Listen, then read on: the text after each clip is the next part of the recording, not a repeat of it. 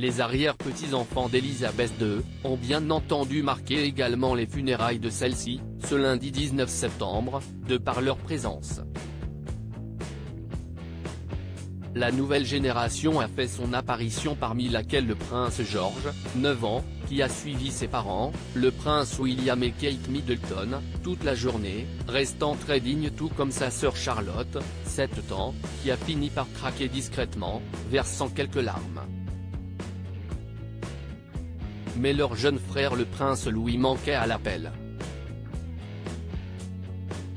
Si Savannah, 11 ans et demi, et Isla Phillips, 10 ans, ont pris place dans la chapelle Saint-Georges aux côtés de leur père Peter Phillips, le petit-fils aîné de la reine Elisabeth II, le plus jeune du clan Cornouailles était resté auprès de ses nourrices.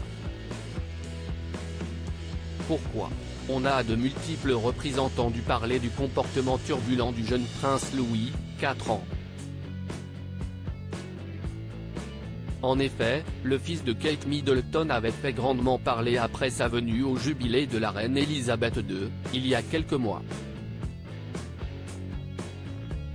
Incontrôlable et très agité dans les tribunes, il avait donné du fil à retordre à sa mère. La princesse de Galles a-t-elle donc voulu s'éviter cela en ce jour, celui des adieux à sa majesté?